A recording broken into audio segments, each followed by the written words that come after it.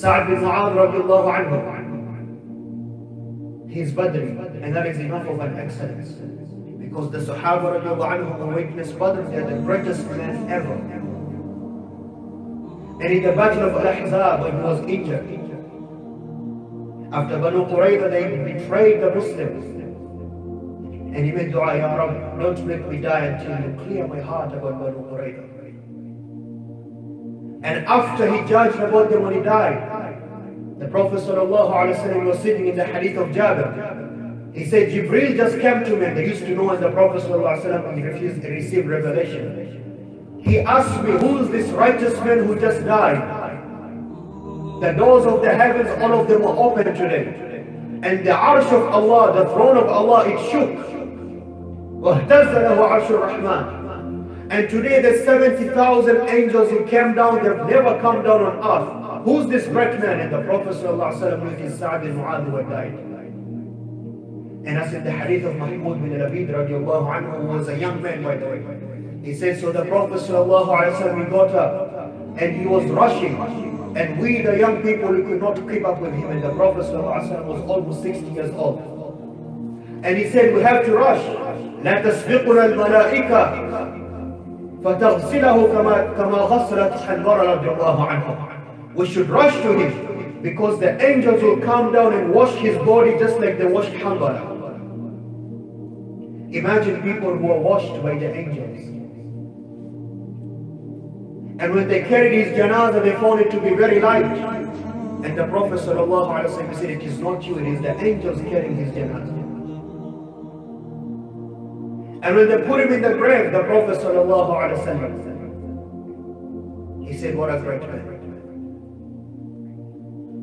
And even him, the Prophet ﷺ, he said, إِنَّ فِي الْقَبْرِ ضَمَّةً In the grave, when you're put in the grave, you have to be squeezed. And if there was anyone who was to be saved from that, he would have been this great man. But even him, he was not saved. Just like death has the pangs of death, there's the pain of death, sakaratul maut. Even the Prophet ﷺ felt that. Sa'ad ibn Mu'adh anhu. Imagine the arsh of Allah shook because of his death.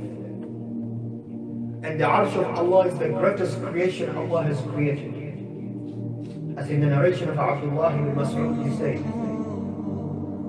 the seven heavens and the seven earths, compared to the greatness of the arsh, the throne of Allah, it is like taking a ring, you know, the ring you wear on your finger, and throwing it in a wide, expansive desert. What is the size of the ring in a desert? That is how small the seven heavens and the earth compared to the arsh of Allah, the throne of Allah. And it shook the day this man died. And as Imam al-Zahabi saying, the arsh of Allah is a creation from the creation of Allah. Allah subhanahu wa ta'ala he gives it feelings just like anything else. The Prophet sallallahu alayhi wa sallam said about mountain Uhud, هذا أحد جبل يحبنا. This is the mountain of Uhud, the mountain which loves us, Muslims. And Allah says in the Quran about his Prophet Dawood alayhi salam, يا جبال أوبي معه والطير. That when he used to praise Allah and use tasbih and read the Zabur, that the mountains used to praise Allah with him, mountains. A man who the arsh of Allah shook. And that is years after that, or days after that, weeks after that. One time the Prophet ﷺ was brought a gift. The finest silk they had ever seen. The companions of Allah they were not used to these luxuries of life They used to live a difficult life. So once the Prophet ﷺ was brought, was brought a gift from outside of Arabia, the finest silk they had ever seen, and they used to call each other and look at it. They were amazed by it. This is the hadith in Sahih al-Bukhari. When the Prophet ﷺ saw them like that, he said to them, أتعجبون من هذا? You are amazed by this? لمناديل سعد The tissue paper, the handkerchief of Sa'd in Jannah is better than this. Imagine the Prophet ﷺ he used what we can say today is the worst example. The tissue paper to clean yourself. In Jannah for Sa'd to show you his status, he is better than this. And that is why Aisha anha says, I have not seen the Muslims facing a more difficult and sorrowful day than the day after the Prophet ﷺ died, and Abu Bakr and Umar than the day Sa'ad died. He said, that is the day, she said, Aisha, that is the day I got to know how Abu Bakr cries and how Umar cries. Because of how much they cry. Someone who Abu Bakr and Umar can cry so much like that for, you have to know he's a great man. My point here, my brothers, is a very simple fact.